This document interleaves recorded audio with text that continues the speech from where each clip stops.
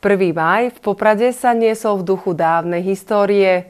Návrat k tradíciám našich predkov priniesol na sídlisko juh oživenie v podobe jedinečných šermiarských vystúpení, sokoliarov, dobových kostýmov či historických zbraní, z ktorých sa dokonca aj strieľalo.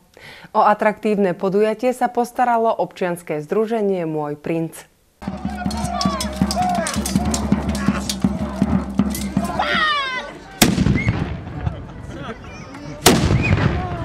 Takto sa vraj kedysi bojovalo aj u nás a napríklad ovládanie šermu nebolo nič nezvyčajné. Dobové podujacie Deň histórie prinieslo takýto autentický náhľad do minulosti poprvýkrát aj priamo na popradské sídlisko. Väčšina takýchto podujatí sa organizuje pri hradoch, zámkoch, čo je, čo je hodne vzdialené obytným zónam e, mesta.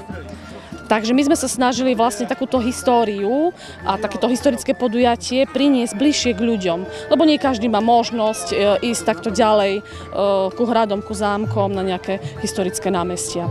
Nechýbali ani ochutnávky z historickej kuchyne, streľba z luku, dobová hudba či dobové odevy, ktoré boli prakticky prispôsobené. Na hlave mám nemecký šalier, to je vlastne prílba, chráni mi hlavu.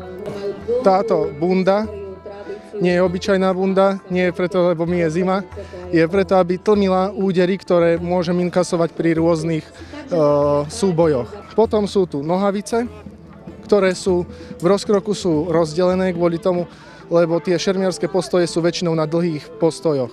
Takže aby sa to tam neroztrhalo.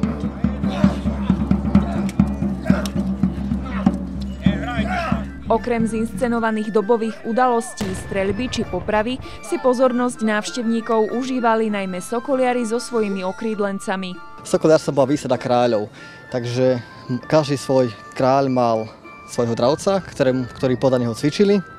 A keď išiel ten panovník na lov, dostal sokola a cval na koni a lovil. Ja na ruke sokola loveckého, ktorý pochádza zo Škandinávie. Je to dvojročný samček, volá sa Bleky, Jedinečnosť podujatia ocenili návštevníci v hojnom počte. A tak je to zaujímavé, konečne aspoň niečo pre tie deti, predsa len môžu aspoň troška výsť vonku do tej prírody. Super počasie vyšlo, to je som rada. Si skúšam anglický dlhý luk, ktorý používali v stredoveku aj Robin Hood.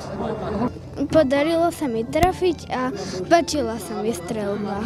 Z okolia sme tu na hneď blízko bývame, takže už sme tu boli ráno, teraz sme tu na druhý krát. Páči sa mi to. Páči sa mi to, hej.